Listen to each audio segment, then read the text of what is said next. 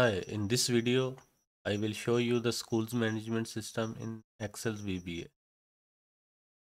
First of all, uh, go to the my website's links and I paste this link on video description. You click this links and just click the downloads now button. When the download show the folders and go to the property and check this unblock option apply, click OK. So we open this file.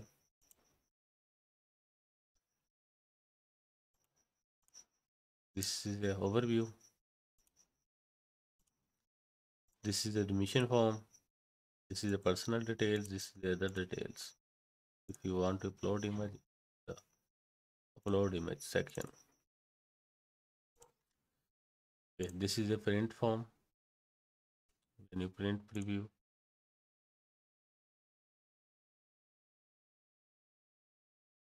here. It's fit by a4 page we go to home. This is a fee deposit.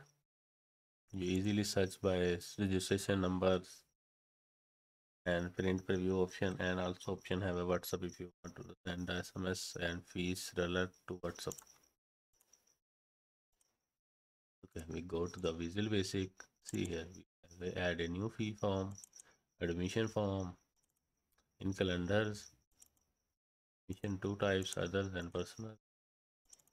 Calendars the expense vouchers the fee receipt this is the income. And here's some small small modules.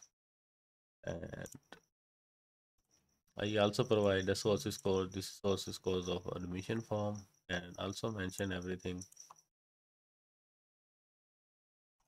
Because to code is too much long. Can't explain more. I enter the comments in every section. Easy and this is the required file.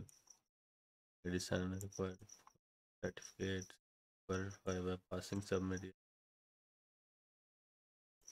easily capture the source code from here and embed your excel file or if you want just download file for free. And use this course management system as per your score. Thank you for watching me